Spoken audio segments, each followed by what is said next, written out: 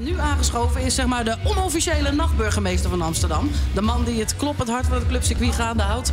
De baas van de allerbelangrijkste club van Nederland. Het is Olaf Boswijk van Trouw. Goedenavond. Hoi, goedenavond. Dat is een ronkende introductie, hè? Zo, behoorlijk. Het is de allerlaatste keer dat Trouw meedoet aan het Amsterdam Dance Event. Want januari dan wordt de club gesloten. Er is een nieuwe bestemming voor het pand gevonden. En afgelopen woensdag trapte ik mijn eigen ADE af met de rush avond in Trouw. Het was uitverkocht. De zalen stonden, de rijen die stonden tot om de hoek. Het was echt eindeloos lang wachten om binnen te kunnen komen. Ja. En binnen vervolgens hing er een sfeer van... het kan nu nog, laten we uit ons dak gaan. Heb jij dat ook zo gevoeld? Nou, ik, ik moet zeggen, ik was er woensdag niet. Wat? Ja, ik, eh, ik had vier dagen op de fiets gezeten van Londen naar Amsterdam. Oh, Dus ja. ik, ik moest even slapen. Dat is waar, ja. Vertel Ja. eens, begin daar eerst even mee. Want dat is ook zo'n... Waarom was dat ook weer? Ehm, het was een eh, initiatief van eh, Bridges for Music en Resident Advisor, internationale muziekwebsite, die bedacht hadden dat het heel leuk zou zijn om van Londen naar Amsterdam te fietsen en tegelijkertijd veel geld op te halen om een muziekschool in Kaapstad te bouwen. Dus dat zijn we gaan doen met allemaal eh, promoters en DJ's en muziekjournalisten. Dus we hebben allemaal geld ingehaald, eh, ingezameld en dat is eh, heel goed gegaan. We hebben meer dan een ton ingezameld. Zo. En eh, we zijn dus in vier tussenstops met ongeveer 120 kilometer per dag van Londen naar Amsterdam gefietst. En eh, woensdagmiddag kwamen we aan eh, op de Keizersgracht bij, eh, bij het ADE.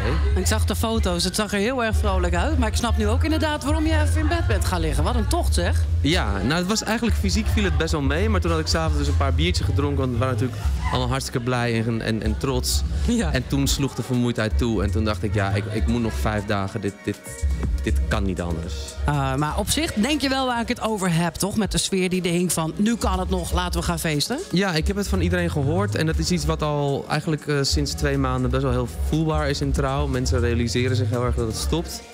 Maar het verbaast mij toch wel. Want de woensdag ADE is toch meestal wel dat mensen het nog een beetje inhouden. En van, ah, kom even kijken. Of... En ja, dat vind ik toch wel bijzonder dat het op, eh, op zo'n avond al, al zo eh, goed is. Aan de gevel van het gebouw hangt een nieuw bord. Naast de naam Trouw hangt nu ook Tot in de Dood. Wie heeft Ja. dat verzonnen? Dat heeft een eh, Libanese kunstenaar verzonnen. Dat eh, is een lang verhaal, maar de laatste, eh, een van de laatste kunstexposities die we hebben gedaan... dat ging eigenlijk over de betekenis van trouw als woord en de historie van de krant.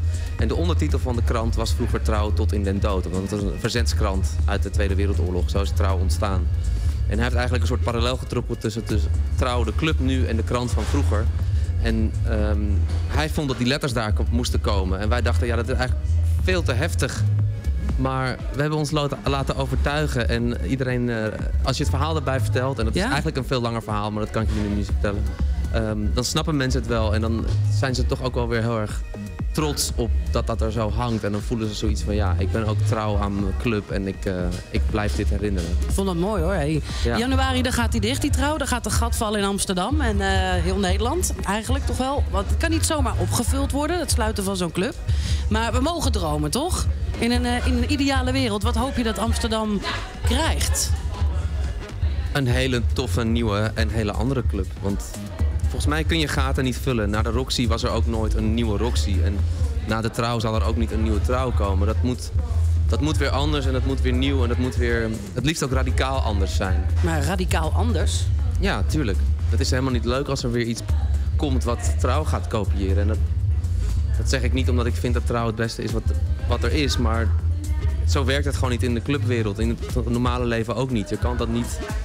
Je kan het volgens mij niet opvullen. In je moet gewoon weer opnieuw beginnen. Ja, precies. Ik wou het net vragen. Want in hoeverre is dat wat je nu zegt een toffe radicaal anders club? Hoe, hoe is dat te realiseren?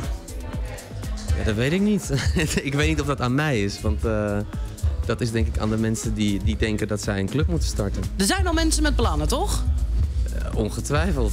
Je hebt ze toch wel gehoord, of niet? Nou, volgens mij gaan er deze week al twee nieuwe clubs open. Dus Help me even, welke zijn dat? Radion en de Marktkantine. En dat, dat zijn venues waar hoeveel mensen in kunnen?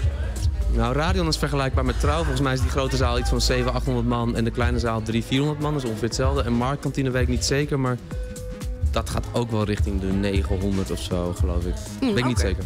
Nou, voor iemand die nu zit te luisteren en die denkt... damn, ik ben nog nooit in de trouw geweest, ik moet opschieten. Wat zijn je tips voor evenementen die er nog aankomen... waar je zegt van, ah, dat is de moeite waard. Ga, ga dat dan checken. Nou, dit weekend kan ik je niet aanraden, want alles is stijf uitverkocht en eh, onmogelijk om binnen te komen. Ja, I tenzij je heel goed, eh, hele goede smoesjes kan verzinnen. Ehm, ja, ik zou zeggen, check de website. Er zijn heel veel bijzondere dingen. Ja, ik weet het. Maar gewoon eentje die uit je hoofd binnenvalt, moet een goede tip zijn.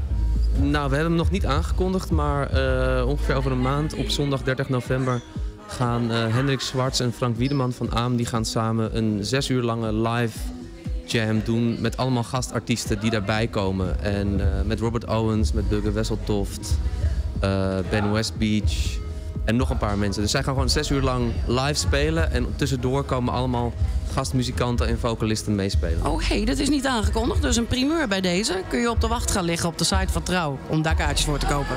Heel veel succes met de laatste maanden, Olaf. Dankjewel. Het is Olaf Boswijk van Trouw. Als je meer wil lezen over hoe dat precies zit met de sluiting van de club, check 3voor12.vpro.nl. Want daar staat ook een heel interview met Olaf op.